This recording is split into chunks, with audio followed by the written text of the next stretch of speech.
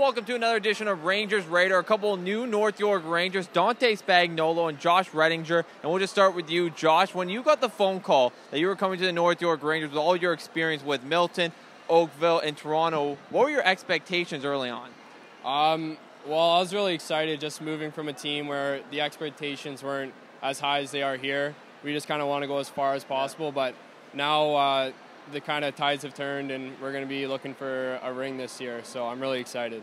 Dante, you pretty much made your bread and butter with the Patriots. You won OJHL Most Improved Player. So, what were your early impressions when you got the phone call saying you're leaving an organization that brought you up to a new one? Yeah, you know, I'm very thankful for every opportunity and everything I had uh, with the Toronto Patriots. Great organization. Uh, I was super excited to get the call that I was going to be joining North York. Uh, pretty pretty loaded team here with a lot of veteran guys, a lot of skilled guys. So I'm just super excited to be here and get to play with all these talented players.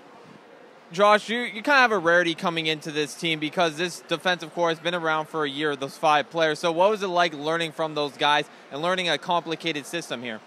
Uh, the guys really took me in really easily. They made it really easy for me coming in. They helped me out. Uh, learning the systems actually came pretty quick. I think us and the Pats kind of had uh, similar systems. But they're always talking to me on the bench, giving me little tips and tricks here.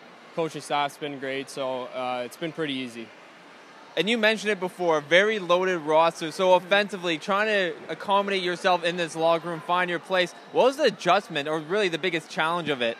Uh, you know, just being able to trust everybody. Like everyone's really talented and skilled here, so uh, you know, just being able to rely on your teammates and know if you do j- your job, they're going to do theirs. So there's a really big trust factor here, and everyone uh, holds themselves accountable and does their part. So it makes it really easy on everyone else. And now we're going to go to rapid fire, which will be interesting since you guys are fairly new. So worst chirper?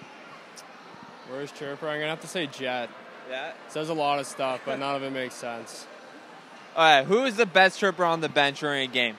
Uh, best chirper? I say Yemmer.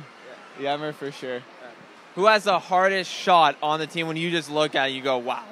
I'm gonna have to go with a, po- a popular answer in Fantuzzi. Yeah. I mean, he's got a bomb, and uh, everyone seems to know it. Who has the silkiest hands? Because there's a lot of talented players on this team. The silkiest hands?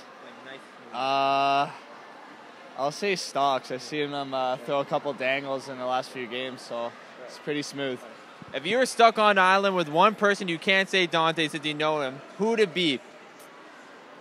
Um, I'm gonna have to go with Reeser just because we've known each other for a little bit. We carpool, and uh, I enjoy his company. Who, if you were going to a bar, who would be the best wingman? Oh, Reeser for sure. Yeah. Reeser, yeah. Reeser, just because he's the biggest wingman. You, you walk in and he's already scouting for everybody. He's so yeah, he's a real he's real for the boys. So he's a great way. Who would have the best vocal cords on your team on the team? You think? Uh, that's Edie Rudy.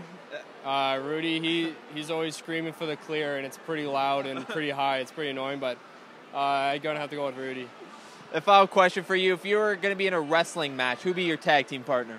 Wrestling match? Uh, I'd say Ratty. He's kind of a beast. I see him bear hug a lot of guys on the ice, so he'd definitely be a good guy to have on your side. well, thank you again for tuning into Rangers Radar. Josh Rettinger, Dante Spagnuolo, thank you. We'll have one more edition next week right here